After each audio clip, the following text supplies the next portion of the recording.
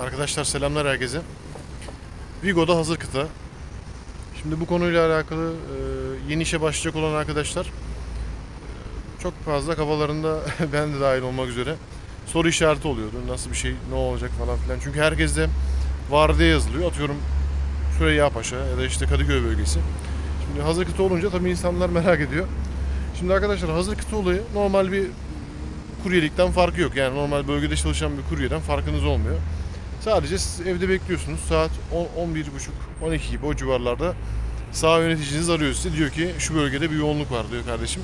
Oraya geliyorsun, orada çalışacaksın diyor. Sen de tabii kabul ediyorsun, gidiyorsun. O bölgede normal çalışmaya devam ediyorsun. Ekstra bir ayrıcalığı yok. Yani normal saat ücretiniz aynı şekilde devam ediyor. Molalarınızı gene kullanabiliyorsunuz normal şekilde. Yani kısacası nerede yoğunluk varsa o bölgede destek olarak çalışmaya gidiyorsunuz. Şimdi adamlar aradıkları zaman sizi açmamazlık tarzı şeyler yapmayın. E, Bunlar çünkü hani ilk zamanlarda belki hani yeni işe başladığınız için çok sorun olmaz ama tabii ilerleyen süreçlerde e, sorun yaşayabilirsiniz. Raporlama yapabilirler, tutabilirler sizi. E, onun dışında mesela şu konu da çok önemli. Ona da değineceğim. Şimdi ben mesela bir buçuk aydır çalışıyorum Vigo'da.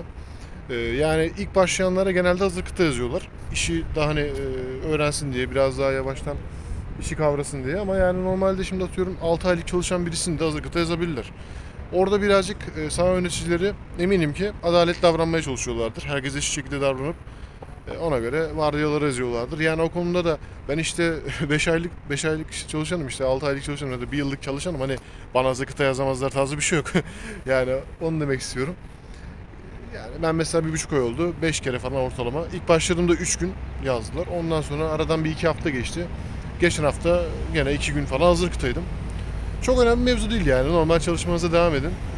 Arada böyle şeyler olabilir. Çalışma saatleriniz değişir dediğim gibi. 1'de arayabilirler sizi. 12'de arayabilirler. Onlara kalmış bir şey.